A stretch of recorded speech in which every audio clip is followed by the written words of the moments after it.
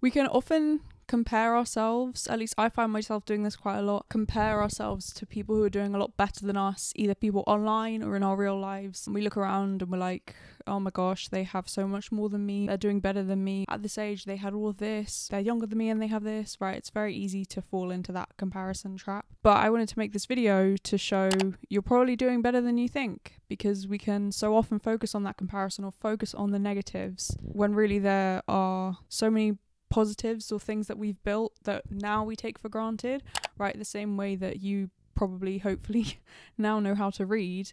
At one point, that was probably something that required quite a lot of concentration and effort from you as a child. And now we can take that for granted because it's just a skill that you have and you know how to do that, right? And I think the same thing can happen with anything now that we're dealing with and we don't always notice that we're handling things better than before so as i realized that i today am a thousand days sober I thought it was a good time to make this video reflecting on things that we might take for granted and how you're probably doing better than you think. it's really easy to forget how bad things were or how far you've come because you still have so much to deal with, right? I think maybe I think that there's a point that you reach where you're like healed, you're better now, and it's all good. and so, because I'm still on that path, it can then feel like I'm a failure, or because I haven't got somewhere yet, I'm like, oh, well, I'm not good enough, or whatever. But it's like, that's the trap, isn't it? Like, you never actually get to a point where you are, at least I think this, where you are like healed. Like, those things might crop up later on. You might think, oh, I've sorted this now. But then in times of stress or someone said something and similar behaviors come back and you're like, oh, I thought I dealt with that, right? Like we can think we've solved something or we fixed it. And it's like, no, that thing can still come back. If I have that mindset of like, I should be better or I should be fixed or I should be healed now, but I'm not, then I feel bad. But it's like, that is a lie anyway. Like you're never going to get to that point of like, I am completely healed and this thing will never affect me ever again. you're actually doing better than you think because you may be expecting to be at the end point of like, I am healed, it's all good now. But it's like, no, look at where you are now versus where you used to be.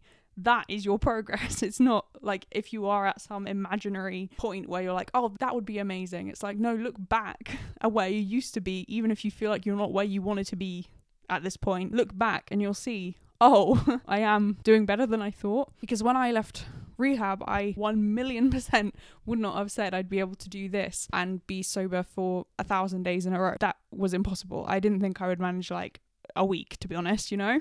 But just taking it one day at a time, you can do more than you think.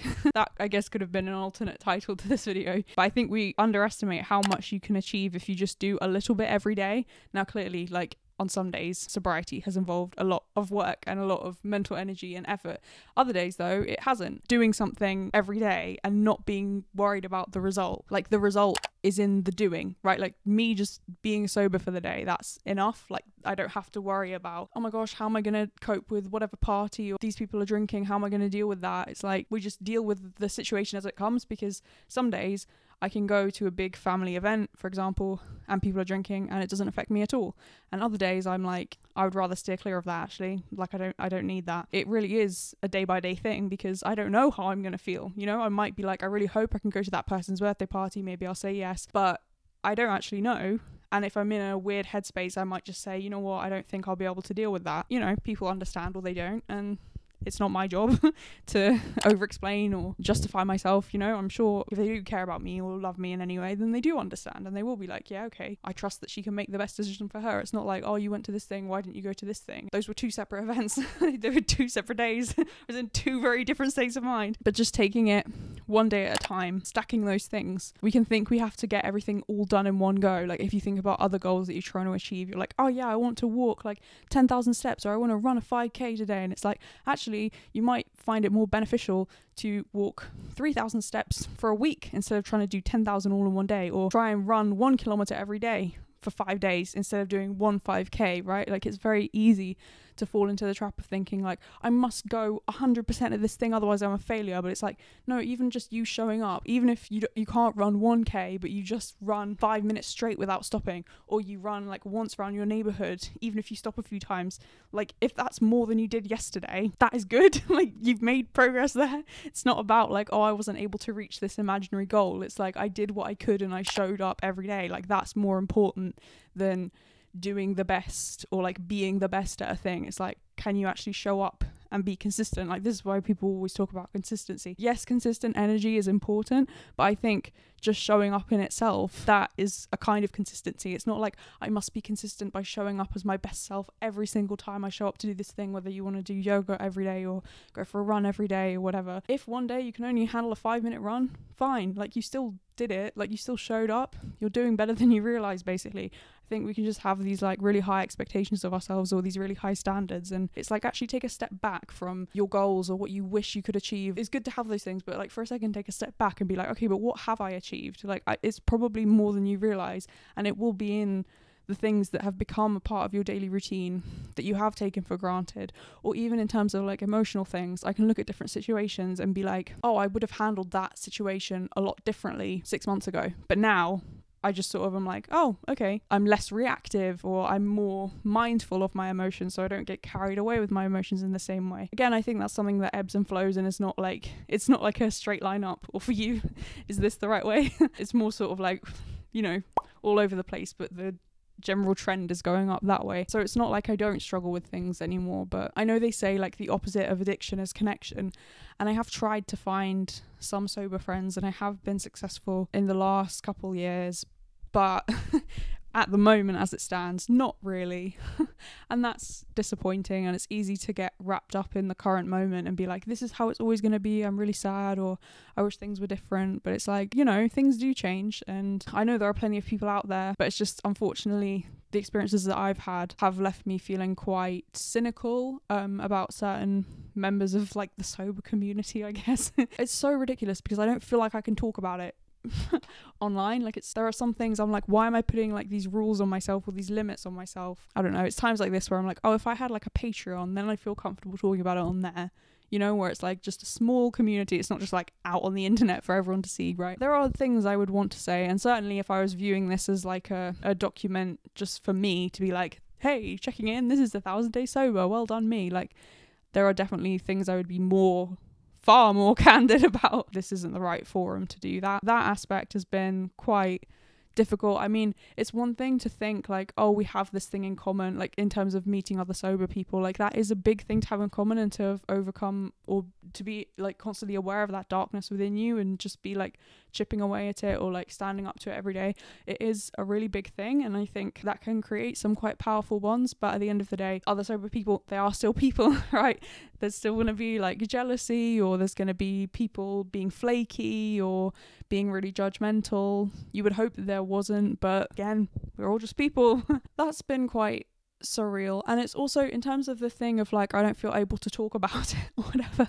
It's like, I don't even feel qualified to make a video about this. I'm not really sure why. I guess maybe because I'm like, oh, I went to rehab, so like me being sober doesn't count then because I didn't get sober by myself. But it's like I've stayed sober since then but also because I had an alcohol problem, it feels different than like those health influencers who are like, oh, yes, I'm now four months sober and whatever. And I'm like, oh, that's so amazing. Good for them. But I don't feel like I can talk about it in the same way because they're just doing it for like health reasons and I'm like, "Oh, I'm doing this so that I don't die." Like it's it feels like on a different level. So it's like it's this weird mix of I simultaneously feel like I have too much to say about it or I'm like too qualified and also like nowhere near qualified enough or nowhere near like my opinion does not matter at all on the subject. It's just such a weird headspace to be in.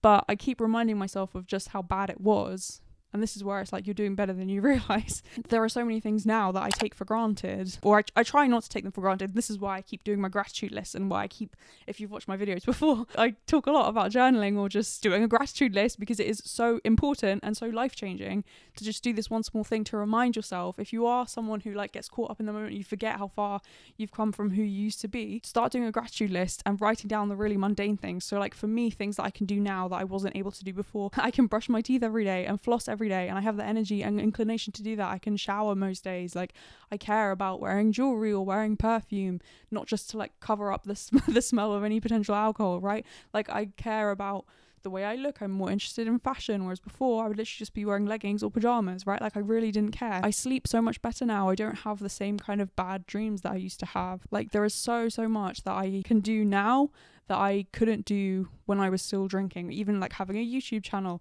I started this when I was six months sober, I guess. Eight months sober because I was like, oh, I have more energy now. I want to like learn a new skill, try something new, right? Like, I just felt really inclined to start a YouTube channel and I have done that and I'm I'm really happy with it and I've reached my watch hours requirement. Hopefully by the time this video goes out you will have seen an advert on it, which means that it's been officially monetized. That's been a milestone that I've been wanting to hit. That as well, I'm like I don't even feel qualified to talk about like how to grow a YouTube channel because it's like it ha- it's happened so slowly for me because at the beginning I was just like teaching myself how to do everything and it wasn't really about like being the best or like attracting an audience, getting a viral video. Like it was never about that. It was just like, oh, I want to try and make a vlog. Okay, I did that. Let me try and do something else because everything was so new. And now I've done, I don't know, 180 videos or something. I have a playlist of, of every single video. So I have done a playlist of every single video. Every time I make a new video, I add it to that playlist. But like I never would have been able to have the energy or like even care about a project like this, like my YouTube channel, when I was still drinking even just like things like making a phone call and not needing a drink. Like I needed a drink to literally do everything. Kind of, I guess, just an excuse to be able to drink. But it was also like a way of surviving and of like coping. And even just me being able to sit with my emotions now is such a win. Like I'm doing so much better than I realized because I used to drink to avoid doing that. And so now, anytime I'm able to actually feel a strong emotion and just be like, yeah, okay, I feel sad, right? Or I feel really angry, or I feel really alone. Like, anytime I can just sit with the feeling and I don't have to do anything about it, I can just sit with it. And yeah, maybe I cry or whatever, but I mean, I'm not trying to run away. And like, the behaviors can definitely still come up in terms of like eating to avoid feeling or like emotional eating or like shopping to avoid feeling like the same behaviors that prompted me to be drinking can pop up in other ways, which is why you have to be like aware of this stuff because then one thing can lead to another thing, right? Like you can end up with like a cross addiction or you start off doing one thing and then you're gambling and then you move back to drinking, right? Like they're all connected. The behavior is the way that you're managing your feelings. And if one thing stops working or you go more and more extreme with one thing, then you start turning back to maybe the original thing. And it's like, I don't want to do that. but, you know, life is full of all these really emotional, difficult to deal with things. So that's why I have to like be grateful for every day and stay aware of these things and be like, oh, interesting. Okay, I'm eating more, or I'm eating more sugar, or I'm not eating enough. And like that's provoking certain feelings in me, right? Like all of these things are related, but just having that awareness, even and caring about it, just caring about things. I mean, clearly it's like a double edged sword because some things are so painful, and I'm like, I wish I didn't care, like, I wish I didn't feel. And that's equally a dangerous time because it's like, then I can be wanting to escape or run away. A thousand days, yeah, it's sad. I, I don't know why I feel sad about it, but I guess maybe it feels pathetic to like care about something like this. It's clearly a really big achievement and I am proud of myself, but I mean pathetic in terms of like having this condition to start with, like having this as a disease I have to deal with. It's like so many people view it as a moral failing or like something that's embarrassing and I definitely don't view it like that because I've lived it, so I'm like, I understand completely why this happened to me, but I can understand if you're on the outside looking in, you're like, what, why would she do that? Or like, oh my gosh, that's so embarrassing, whatever. I try not to absorb that because it's not the way I think about it at all. It does sometimes make me feel like I can't celebrate or like I can't share like the the milestones that I've reached because I am like even every day like I know this is a big one because this is four figures and it's you know a thousand a round number but like every day is a milestone worth celebrating. It feels sometimes, and this is probably just me projecting, it feels sometimes that people are just happy that I'm sober again, but they don't want to hear about or they don't care about like how I got here, right? The quote of if you can't handle me at my worst, you don't deserve me at my best. And it feels like I'm now not at my best, but you know, I'm I'm better than I was. But it's like people who were never there for me when I was really struggling now get to enjoy is the wrong word, but now they get sober me and that's a much better person to be around and it just sometimes makes me sad because I'm like I feel I've worked so hard and it feels like I can't even acknowledge how far I've come with these people because they don't want to talk about it or I don't know it's not like I particularly want to talk about it either but it's just like it, it feels like I've come so far but I can't express it. If you have a similar thing where you feel like you've made a lot of progress but you feel weird talking about it this video is for you you are doing better than you realize and you deserve to be able to celebrate what matters to you with the people around you or to give it a moment and instead of like brushing it aside or being like yeah but it's not that important use this as an opportunity to be like no i am going to celebrate that thing even if that thing is like you had a shower today and you really struggle with executive function. Well done. Like that is a big thing and just because other people don't understand it that doesn't mean it's not something worth celebrating. If you do feel like you want to share whatever your win is, you can comment below and we can all encourage each other. There were other things that I wanted to say in this video, but they're not occurring to me at the moment. I guess now I've done this clip, I've at least filmed something on the actual day. I wasn't really feeling it at the beginning, but it's good to have this as like a thing of, yes, I did it, and I actually recorded it on the day. well done.